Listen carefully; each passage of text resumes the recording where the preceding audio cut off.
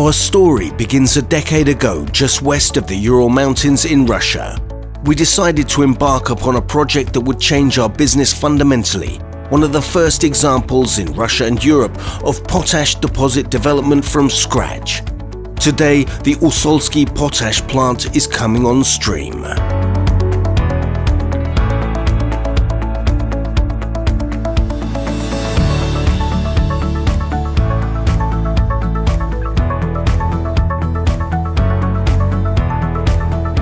In 2008, Eurochem won a mineral license auction to use two plots of the Verkhnekhamskoye potash magnesium field. That marked the genesis of a greenfield project with a total cost of around 3 billion USD. By 2010, a geological survey had been conducted and the pilot holes drilled. The exploration work at the Verkhnekhamskoye field validated Eurochem's approach and the decision was taken to sink shafts using the ground freezing technique. The sinking of shaft number 2, with a depth of 474.5 meters, was completed in 2013, while a year later shaft number 1 reached its depth of 548.7 meters. In 2015, the mine's roadways were constructed and equipped, and the mine shafts themselves were reinforced. To design the ore dressing complex, the TOMS Project Institute was brought in as general contractor.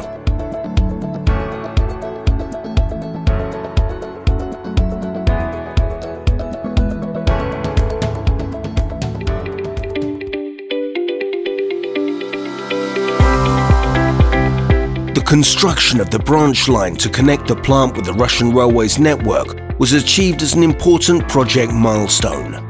The total length of railway line built for the project is over 46 kilometers. Infrastructure including gas, water and power supply were constructed in parallel.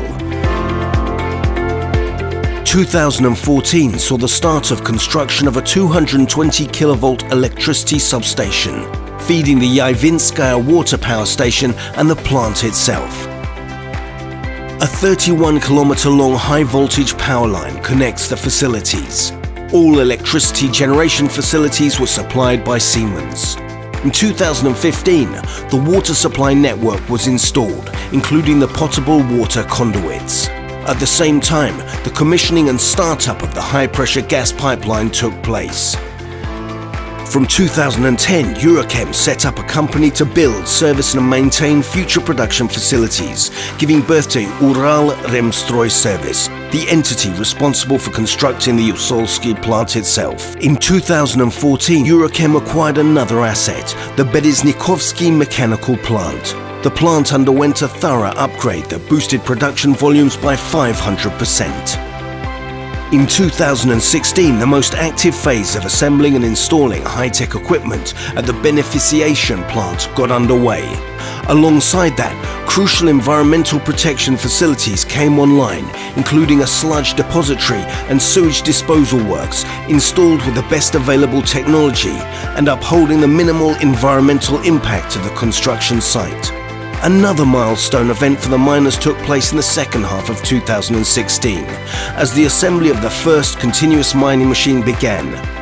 With the launch of the heavy-duty Ural 20R vehicles, the first ton of rock was broken away.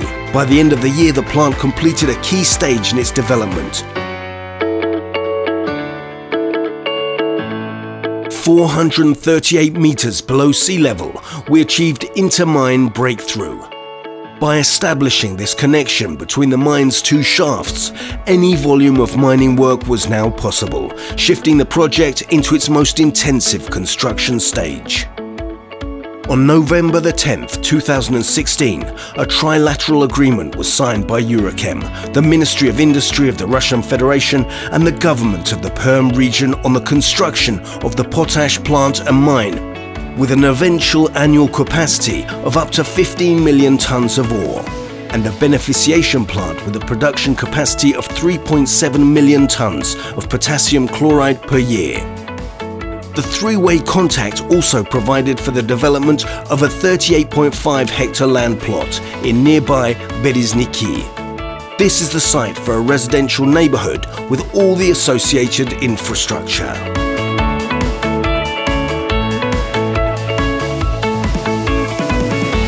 In 2017, eight continuous mining machines were put into operation at the Usolskiy Potash plant, and by the end of 2018, their number will reach 14. A key event for the plant took place in the autumn of 2017, when miners reached the Red 2 Sylvinite rock level and started work on two of the deposit's potash levels.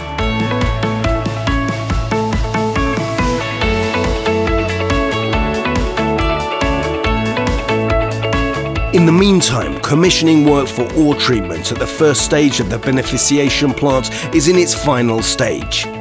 The first thousand tons of rock are entering the 50,000 ton capacity warehouses. The warehouses are equipped with special devices, stock haul reclaimers, which put bulk product on conveyor belts for subsequent transportation to the factory. This unique mechanism can transport ore at a rate of up to 1,000 tonnes per hour.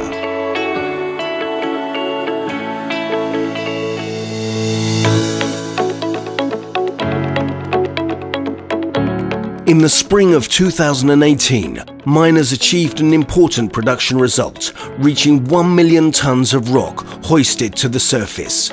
At the same time, the plant successfully produced its first test product of MOP, muriate of potash.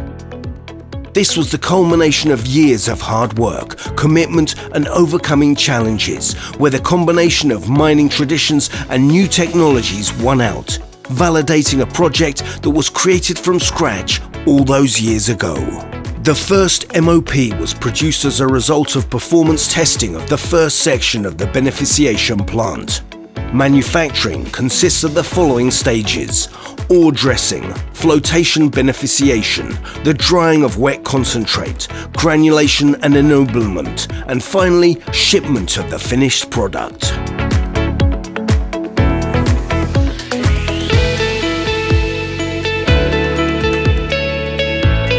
Over the past 10 years, Usolskiy's potash miners have successfully brought a high-tech plant online, where undeveloped land once stood. After start-up processes are complete, all production departments will be fine-tuned to work like clockwork. 2018 is the start of a new era for Eurochem, the potash era.